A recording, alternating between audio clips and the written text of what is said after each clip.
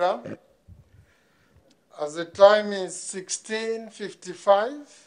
The current composition of the Zambian parliament shows that indeed more has to be done to increase participation of young people in the legislative process. The legislative process is what determines the developmental course a country takes, and if young people are not adequately represented, their participation in the developmental process will be limited. Youths feel that more must be done to change this state of affairs. Comes to decision making and policies, though, we're not really the people in the forefront helping to make the policies. So, how do you have people who are not the target market per se making rules and policies for, for other people? We're supposed to change the mindset of the people to show them that life is not just about getting a degree at university, but you're also supposed to venture into entrepreneurship to help the development of the country.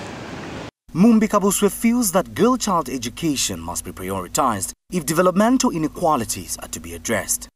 Girl child education hasn't been considered as much.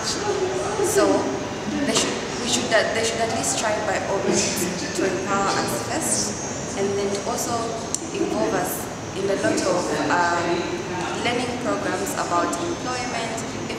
Youth engagement has proven to be key in addressing this imbalance. As such, civil society scaling up nutrition is working with universities countrywide to create platforms for youths to participate in the developmental process. But for us as an organization, we have created this platform and we want to work with young people by giving them access to some of the offices that are really critical in this country. So providing a platform for them uh, to meet parliamentarians, providing a platform for them to meet, uh, you know, the, the, CEOs of um, uh, the government ministries, providing a platform for them to meet uh, the country uh, leadership so that you know their voices can be heard.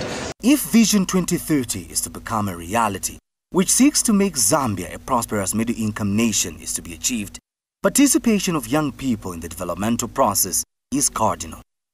For Diamond News, Wendson Mavoro. All these are key to not just this event,